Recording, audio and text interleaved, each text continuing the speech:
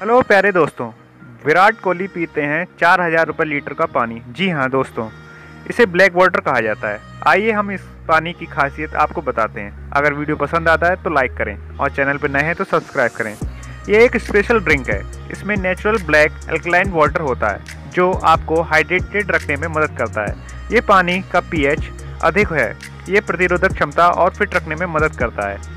इसके पानी के मॉलिक्यूल्स छोटे होते हैं, जिससे ये कोशिकाओं द्वारा आसानी से एब्जॉर्व कर लिया जाता है और बॉडी को तेज़ी से न्यूट्रिएंट्स प्रोवाइड कराता है।